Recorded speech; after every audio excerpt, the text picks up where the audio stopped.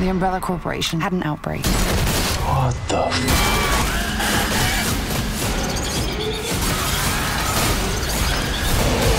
I just really want to get out of this town. Resident Evil Welcome to Raccoon City.